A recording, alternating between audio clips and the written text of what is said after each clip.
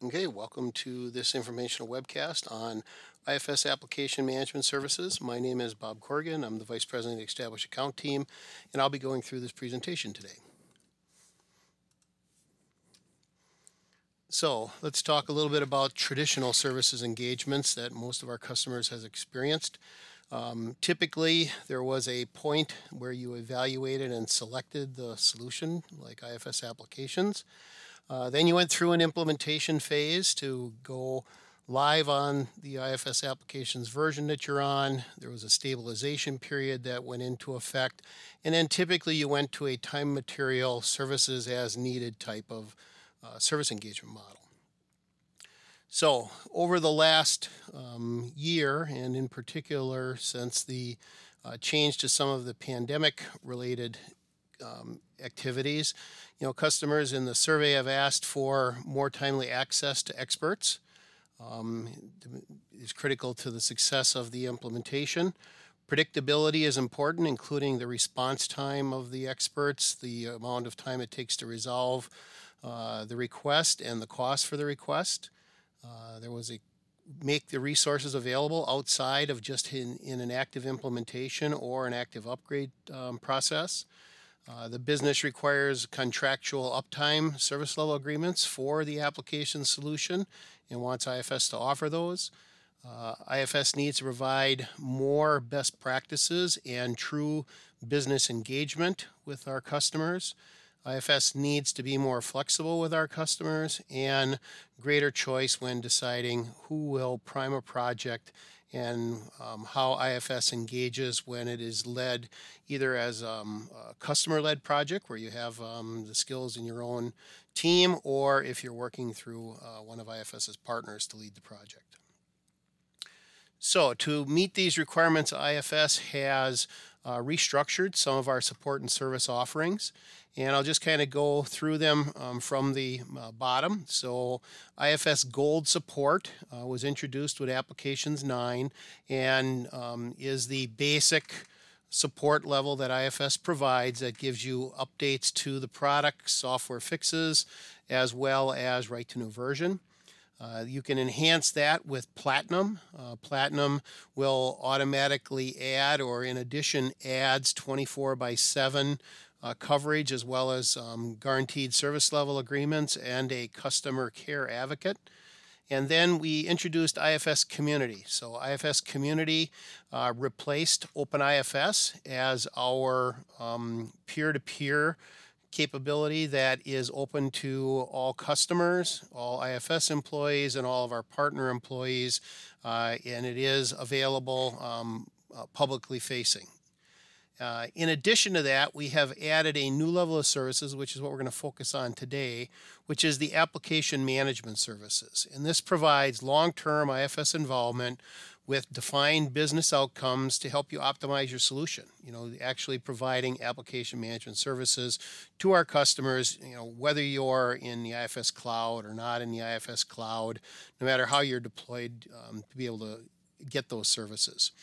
And then part of our whole life cycle engagement model, um, what we call the success and select model. Uh, success is really to look at you know the entire life cycle of your application, you know assess the business value that was expected, and then be able to do you know full blown um, assurance on that business value. But that'll be covered in a, a different webcast. So what is application management services? It is access to IFS experts, you know, foremost and first. It provides our customers that don't necessarily have all of the different skills and competencies, you know, to really effectively manage the IFS application. You don't have to have all of the competencies. Maybe you have some system administration, you know, database administrator, systems analyst, um, business analyst, but this grants you access to IFS experts. It does provide a single point of contact. So uh, you'll see how the application management services helps to triage and provide that first level of uh, support to our customers uh, to go through and completely track any cases or tickets that come up related to your uh, usage of IFS applications. And the other um, important factor is to make sure that it is an agreed pricing model. So we have decided to make this the most cost effective model. We're using a subscription pricing method, uh, which is a three or a five year contract framework.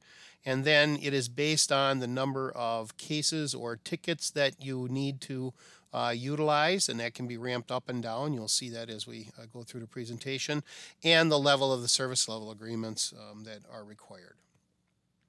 So let's dive into it a little bit more. So you have uh, your various IFS systems and you have a lot of users, end users. Some are, you know, really happy, some are neutral, some are sad, um, because they're going to raise that first line service ticket needing help. And many of our customers, you have to take those first line service agreements in. But what AMS allows you to do is get those into your first line help desk and then start to have IFS do the actual triage of those particular uh, tickets that are raised. We do that by going through this uh, hierarchy, starting with the IFS Competency Center. And the Competency Center is what validates the issue. If the issue can be, you know, solved simply by sharing documentation, some basic advice, you know, it's dealt with immediately in the Competency Center. And you know, the next step is if it can't be, uh, it can be advanced to what's called the Application Management Services Operational Services. This is the team of individuals that perform installations, system administrative task, system configuration task, data management task, and you know then it can move even further on to what we call expert services. And these um, IFS will advise on how to use the application, um, the various functions, the tools that are available. They'll assist in test and test protocols, and they'll perform, you know, proactive technical analysis and recommend various optimizations to your application. If you look at the left on the left, I mean, many of our customers have some of these skills, but maybe not all of the skills that they really need to um, manage the across the entire application. And increasingly, there's a need for that end to end service with that front end built in triage. Uh, and then a single commercial model and a single line of accountability to make sure that everything that comes in gets uh, accommodated and resolved in a timely fashion. Um, so we've uh, developed the application management services uh, to be cost effective and built around these three or five year agreements and we'll uh, go through a little bit more detail about that. And then if you have additional work packages that are needed, those can be priced separately. Those could include um, you know much more involved things that are not covered by the operational and expert services and we'll go through some more examples of those. So, a little bit about what actually is included. So, if you look at the Competency Center, they're doing the end user support and potentially answering questions related to customization advice. Uh, they'll do the uh, issue recreation the retesting after a delivery or a fixer update has been delivered, uh, basic functional advice on the application, inform uh, about any new legal requirements that might be coming into the market and how to meet those with IFS. Uh, basic configuration advice and analysis, and we'll provide monthly statistics of, of usage and then it will also then provide a handover depending upon you know what you have for various services from IFS. Obviously, the IFS support teams that deliver gold and platinum support. Uh, if you are in an IFS managed cloud environment, the IFS cloud team, uh, or then it could be handed over directly to the operational or expert teams within the application management services group. So if we look a little bit about the operational services, they are uh, able to deliver system administrative services. So they can do installations, they can do uh, user administration, as well as systems operation and monitoring, database backups and monitoring, advice on using various tools throughout IFS. Uh, they also will do security and profile uh, support for you. They will develop and um, assist in configuring lobbies for you. They will uh, write and deliver reports. Uh, as well as custom objects. So if you don't have someone that you know is competent in maybe writing a custom event or maybe a custom field, a custom logical unit, Uh, all of those things can be delivered by the operational services team within AMS, as well as they will write interfaces to you know external systems uh, that you may have to have uh, written using the IFS RESTful APIs or um, in the older versions in 9 um, IFS Connect. They also offer data management services, so data repair, uh, data archiving, data migrations as well as um, data maintenance. So those are additional services that are offered as part of the uh, portfolio that is delivered by the AMS operational services team.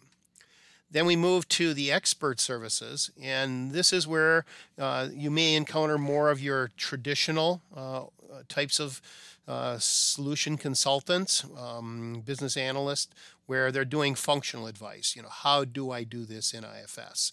Uh, and then even moving all the way to solution. You know, how do I go about implementing you know fixed assets, or how do I uh, invoke lease accounting in in, in app, IFS applications? Uh, solution enablement and then testing services to also make sure that you have that ability to do you know detailed uh, testing. Uh, tool enablement, they'll do the installations of the various tools. They'll uh, teach and configure the system administration and configuration tools.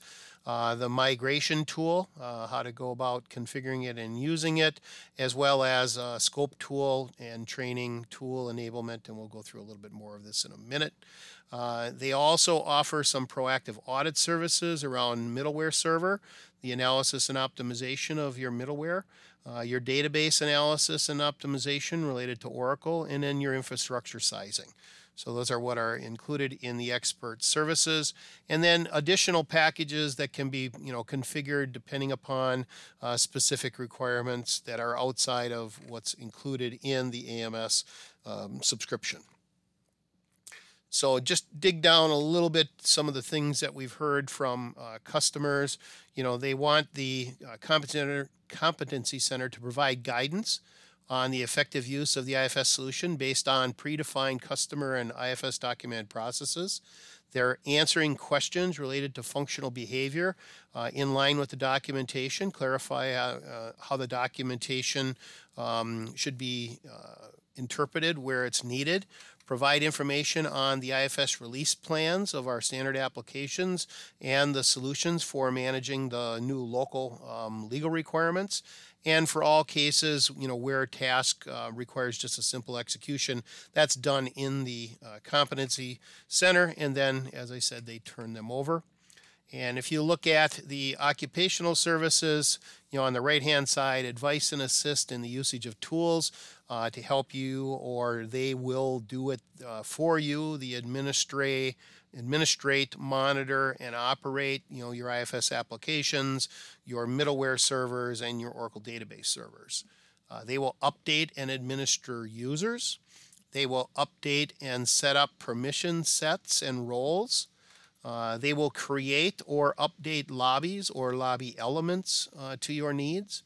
They will create or adjust custom menus, custom events, custom fields, custom logical units, custom tabs, custom pages, custom enumerations, information cards, and the application configuration packages to be able to move configurations between uh, systems.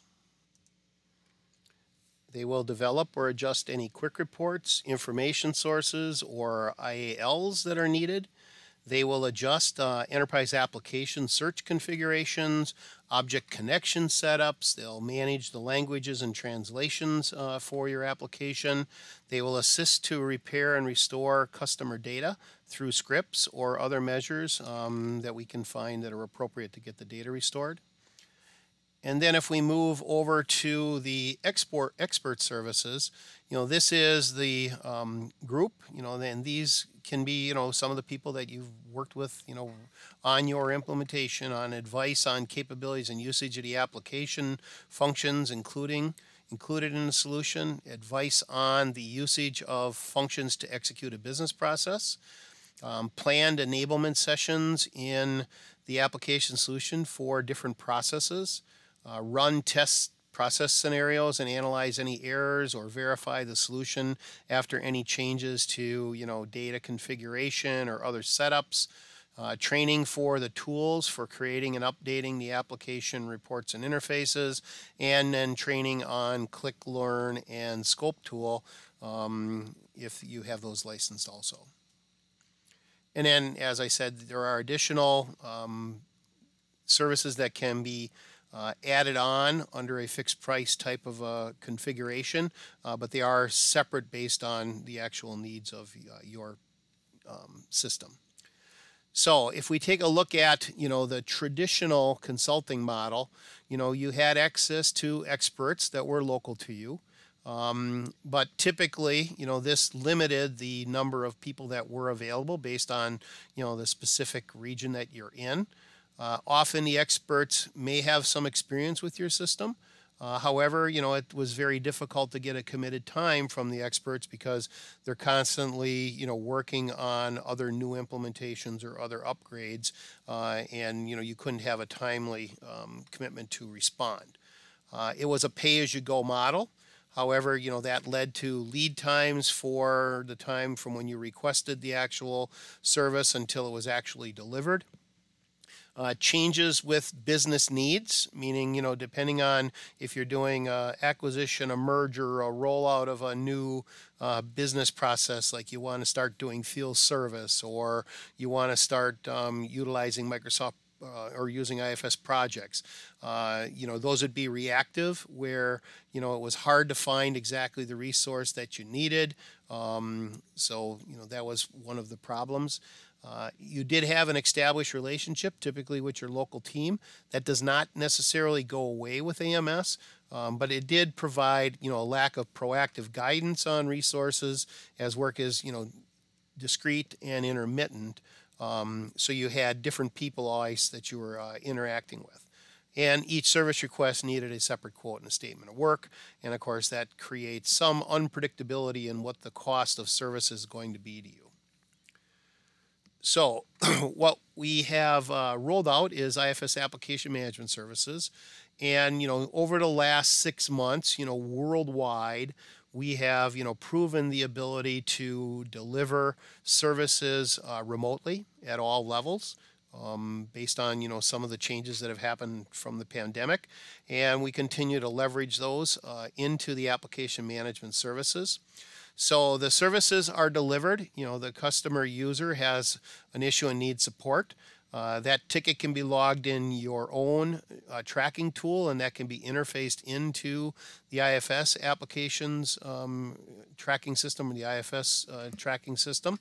Um, we do assign a service delivery manager that service delivery manager becomes the single point of contact for any type of service delivery escalation, as well as they are responsible for all of the proactive management of the cases that you have and the tickets uh, that you use.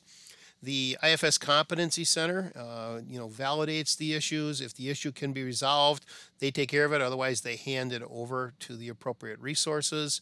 Uh, and there's continuous feedback between the service delivery manager um, and your company as to exactly, you know, how you're using the tickets that you have, how well the support is being delivered, and if there's changes that need to be uh, made to, you know, refine it. So AMS provides a way for IFS to provide expertise to our customers from very small reactive agreements that provide staff augmentation, you know, for existing operational functions as needed, all the way to full-blown um, outsource operations to IFS. Uh, and of course, we can handle everything in between. Uh, and it's based on, you know, how many tickets or cases at each level um, you actually subscribe to, and of course, then you can mix and match as time goes on. So the AMS team, uh, the Competency Center, is responsible for fielding the cases, qualify requirements and processes, and progress the updates. The Service Delivery Manager is responsible for monitoring all of the consumption, recommend any usage of your spare capacity that you might have uh, to optimize your uh, solution and uh, the experts that are involved are going to conduct those regular operational activities uh, to make sure that anything you need in that expert area is, is delivered effectively. There is, of course, an onboarding process. This takes about two months, about eight weeks. So once you enter into a um, an AMS agreement with IFS, there's onboarding workshops that take place uh, with the service delivery manager and the application management teams. Uh, they build a quarterly consumption plan as well as a rolling two month proactive service plan. So you always have an idea of what's coming um, you know, with a, a forward-looking two-month rolling plan as to you know what's going to be delivered. Uh, they build test cases and stress test the communication channel. Uh, they build the AMS team and allocate the capacity to make sure that they can support your needs uh, ahead of time. Uh, there is a monthly review. Of course, then there's a handover uh, to make sure that everything is being um, handled correctly and then you know all of the compliance documentation practices process and tools are put in place and compliant after that uh, two month onboarding period. So one of the questions is you know how is it priced?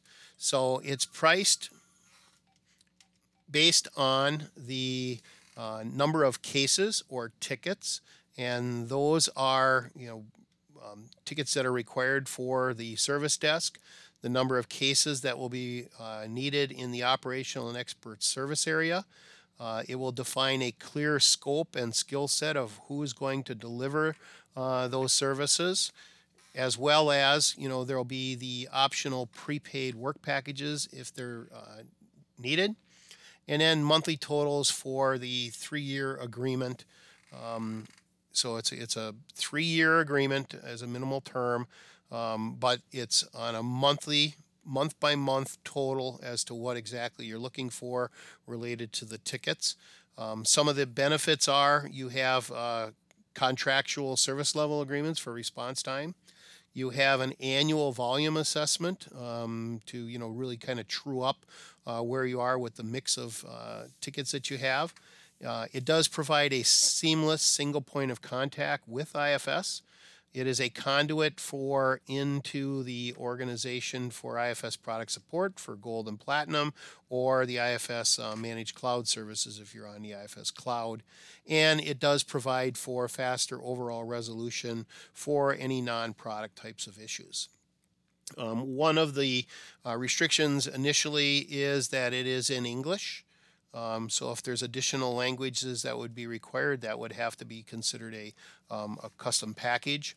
Uh, there is on-site expertise that can be delivered, but normally these services are expected to be delivered remotely. Um, and 24 by 7 by 365 coverage needs. You know, if you have those requirements uh, for this managed services, you know, those would be uh, priced in as an additional add-on. If you're doing weekend on call for go lives, cutovers, um, uh, acquisitions, things like that. Those would be in there. Uh, specific packages tied to upgrades. So if you're coming from apps 9 to 10 or apps 8 to 10, uh, those can also be built in to the subscription, but as an add-on. And then any customized uh, code assessments, you know, to really go in and uh, do a deep functional spec for, um, you know, customization code. So just an example of, you know, kind of how it's put together. Uh, if we were to take a look at, you know, if, uh, you know, from January to June, you know, you were just going to start your app, um, maybe a implementation of Apps 10 or an upgrade of Apps 10, you know, to start off, you're going to just have, you know, 15 of the competency center tickets and 10 of the operational services tickets. Um, and you don't really anticipate you're going to need any expert during that first six month period. Then from July to December, well, you're going to be a little bit more in the actual workshopping and maybe some of the um, process optimization for your upgrade. So now you're going to have 20 competency center and 15 operational and five expert. Uh, then you start looking at, you know, okay, next January through June, you know, we're going to reduce that a little bit. And then from July to December, you know, we're going to already be live on the new version. We're going to be kind of optimizing you know after we get you know live uh, and then you'll just steady state down so you know that in uh, year 2022 maybe all you need is uh, 10 competency and 5 operational tickets through the whole year uh, so if you look at how those things are priced, Uh, the transition period, that two month transition period, is typically a flat price. Uh, and then the tickets are what really drive how much the um, maintenance is. So, you know, this would be for that January to June six month period, about 39,000. Then for that ramped up period where you're doing process reengineering and optimization and rolling out the, um, you know, maybe the upgrade and some of the new features functionality, it goes up for that six month period. Then it tails back down the first half um, after you're live, uh, and then it starts to really stabilize. So, you know, you're looking at you know, potential here for three years, all the services needed um, for about 290,000. Um, so the steps to get into a AMS agreement, uh, there's a confirmation of the system and modules that need to be covered. There is a level of technical and functional support required that needs to be discussed. Uh, confirmation for any of the non-standard requirements, and then we'll look at all the information that's available. If you have your own case management tracking, of course, IFS has been case tracking um, activities from you know our customer base, and you know we'll look at that information and, and share it back to, to kind of decide what the level should be. Uh, we'll create a straw man service model and validate that with you. That gives you some high level pricing um, proposal so you can start to understand exactly you know what, what this uh, application management service model is for your company. Uh, and then of course we will go ahead and provide you know any of the pricing uh, including the list of what is in scope uh, during the um, agreement period. And then we'll provide what we call the success agreement framework, which includes all the terms and conditions, service level agreements, and you know the distribution of tickets, etc. So you have a uh, commercially, it's a three to five year contract. Um, the pricing is based on a mix of the number of cases uh, mix and quantity of cases that are needed. Uh, those cases are broken down into the four categories we talked about um, and four subcategories depending upon the complexity of the, of the cases needed. Uh, there are contractual service level agreements as to you know committed response time and resolution time. Um, there is the ability to do um, if you don't use all of your tickets during a given month, you can, you know, uh, move them month to month. There's some rollover capabilities that are in there. Um, and then there's a quarterly opportunity to uplift and pre-order work packages at preferential rates. So as you start to get more and more into this type of a, a, service model, if you see a new service demand that's coming up, you know you can actually start to pre-plan that, and you get preferential rates to add that to your subscription. So some of the commonly asked questions we've had so far, you know, is what do I need to sign for application services management? Uh, this is a single services success agreement. Um, so it's, it's an order form. Uh, most of you are familiar with an order form, and that is where you actually uh, order the services and uh, the um, service descriptions and everything that you need are in that same document. If I go with AMS, will I lose access to my local resources? Um, and the answer is no, not if you don't want to. I mean, AMS is primarily staffed by offshore resources um, who can, you know, most cost effectively resolve operational requirements. However, AMS has an expert service case level where normally local experts are brought back in to supplement the um, offshore team. Uh, if onshore is a must, uh, there are options to, you know, have those same resources at, um, you know, different cost structure. Uh, why are services only available as a subscription? Um, so as we look at what's happened in the world here in the last uh, year and some of the experience IFS has now with apps 9 and apps 10, you know, with layered application architecture and updates and the direction we're moving with apps 11, which will be called IFS Cloud 2020. Um, you know, we're really looking that, you know, we're, we're investing heavily in making sure that we can deliver services remotely to our customers at a financially um, competitive rate. And in order to do that, there's some upfront um, commitments that need to be done, both by us and by uh, you as a customer. So that is why we came up with this particular uh, subscription um, pricing model.